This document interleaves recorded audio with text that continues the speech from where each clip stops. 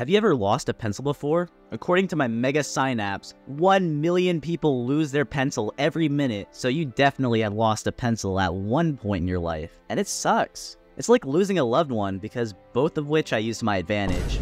But do not worry. Through meticulous thought and pondering, I have come up with a genius solution to this issue. What we need to do is make ID tracker pencils, or Trencils for short. I mean, come on, guys. Come on, man. Why haven't we thought of this sooner? If you can track your pencils, you'll never lose them. Unfortunately, this doesn't really work on loved ones, believe me. I've tried.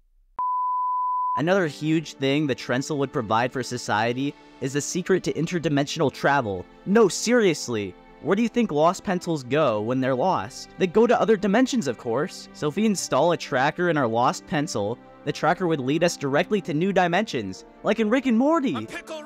Although, I'm pretty sure that show fell off like after 2020. But, anyways, the Trencils would work by having each pencil produced having a unique code, which can be entered into the Trencil app to track your specific Trencil. I mean, come on, it's obviously the next step in the evolution of the pencil. Over the course of human history, humans have evolved from using sticks and mud, to feathers and ink, to pencils, to mechanical pencils, and now mechanical Trencils. Yeah, that's right. All Trencils will be mechanical. Autobots, transform and roll There's literally no question here. Wooden pencils suck. They're rough and splintery, and if you don't have a pencil sharpener, you're playing a game of Russian roulette with your pencil breaking. Using a wooden pencil in 2023 is like riding a horse to work after cars were invented.